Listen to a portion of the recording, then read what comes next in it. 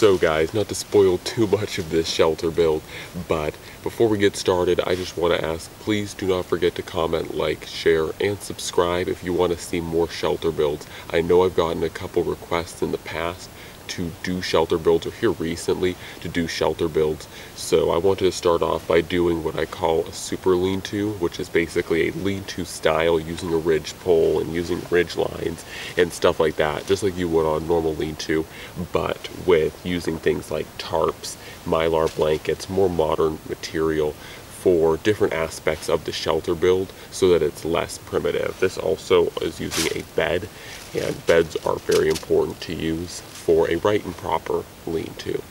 So anyways guys, without any further ado, let's get into this build.